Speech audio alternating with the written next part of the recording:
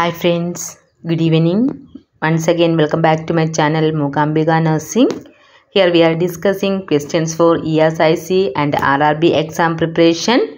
In the previous video, we discussed questions from medical and surgical nursing.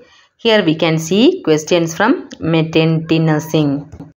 And the first question, oxygen pressure in umbilical artery is about options. Option A 10 to 15 mm Hg, option B 20 to 25 mm Hg, option C 30 to 40 mm Hg and option D 40 to 50 mm Hg.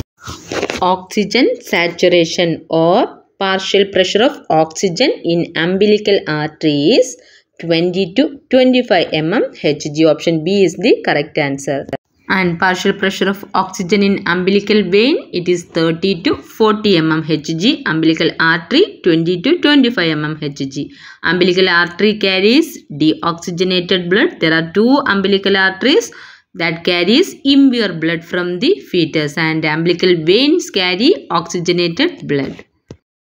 And the next question during spermatogenesis from one primary spermatocyte number of sperms formed are options option a 2 option b 4 option b 6 option b option d 8 question. From one primary spermatocyte how many sperms are formed during spermatogenesis? It is 4 option b is the correct answer Move on to the next question. Commonest cause of first trimester abortion is options. Option A monosomy, option B trisomy, option C aneuploidy, option D none of this.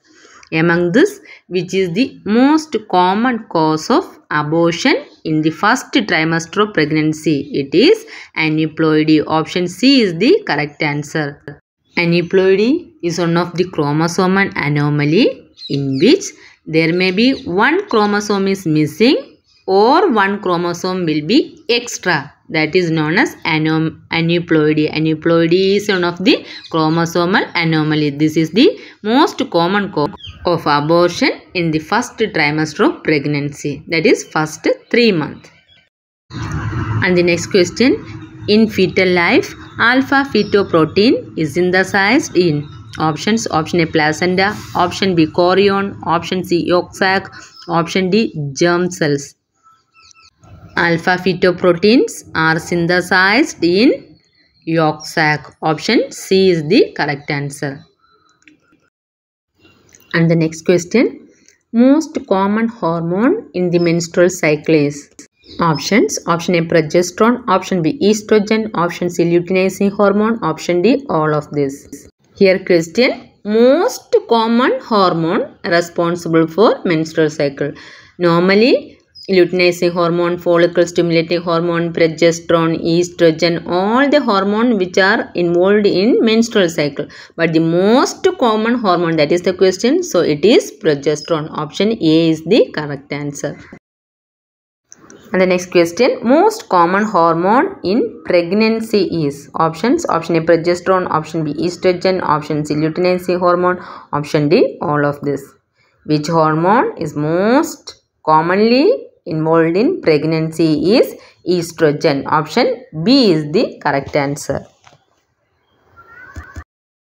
And the next question, most common cause of maternal death immediately after delivery is options. Option A, amniotic fluid embolism. Option B, uterine inversion. Option D, postpartum hemorrhage. Option D, all of this. Question, which is the most common cause of maternal death after delivery is postpartum hemorrhage. Option C. And the next question, the dose of misoprostol in emergency management of PPHs. options option A 200 mcg option B 400 mcg option C 600 mcg and option D 800 mcg dose of misoprostol in emergency management of PPH is 800 m mcg microgram. Option D is the correct answer. Move on to the next question. Fetal movement can be felt by mother at options. Option 10th week of pregnancy. Option b first trimester. Option c at 16 to 20th week of gestation. Option d at the end of pregnancy. Fetal movement can be felt by the mother at about 18th week of pregnancy that is the correct answer will come. Here our option in between is there at 16 to 20th week of gestation. Okay that will come correct answer. First fetal movement felt by the mother is known as quickening.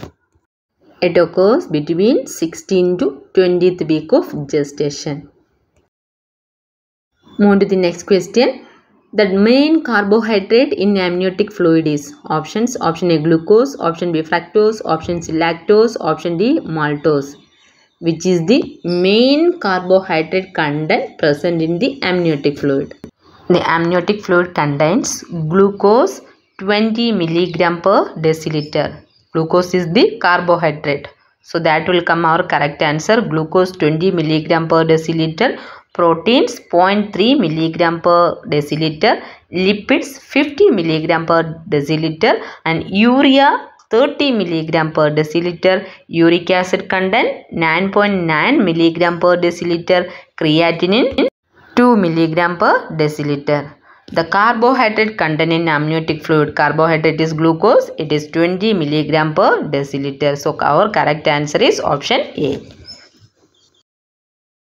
Move on to the next question. Urinary excretion of HCG is maximum between which days of gestation?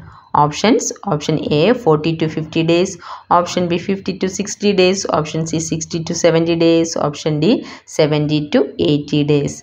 Urinary excretion of HCG human chorionic gonadotropin is maximum between 60 to 70 days of gestation. Option C is the correct answer.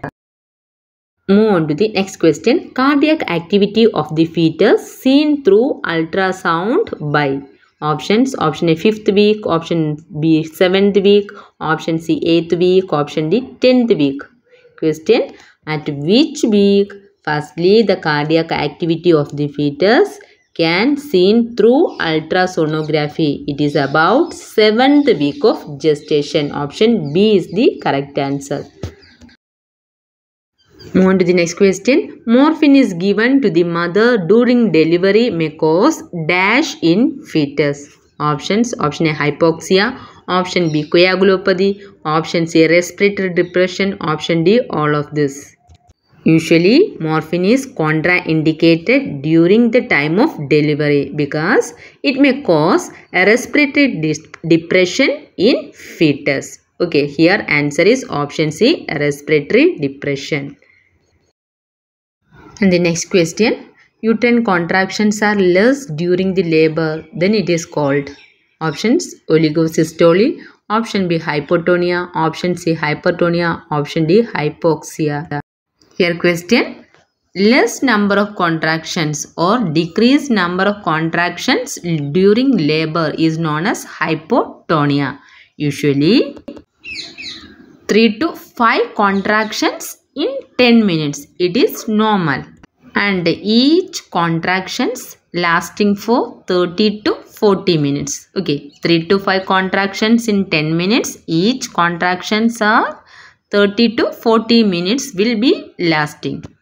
If these contractions are less means it is hypotonia and if the contractions are more, more means above 5 or more in 10 minutes it is known as hypertonia. Okay, hypotonia and hypertonia. And normal this contraction is Braxton Hicks contraction. On to the next question. During delivery, the risk of transmission of maternal infection to the fetus is highest in options. Option A human papilloma virus, option B herpes simplex virus, option C cytomegalovirus, option D rubella.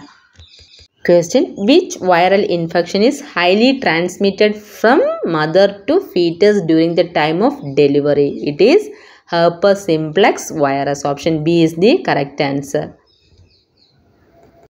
Others will also transmit from mothers to fetus that is HIV, cytomegalovirus, rubella also will transmitted to fetus. But the highest chance is herpes simplex virus option B. Move on to the next question. Partograph was first devised by options. Option A. Friedman. Option B. William Shaw. Option C. C. Rodker. Option D. Ronald Ross. Partograph was first devised in the year 1954 by Friedman. Option A is the correct answer. In later, this partograph was improved by Philpott and Castle they were introduced the alert and action land which facilitate the further interventions during the time of labor.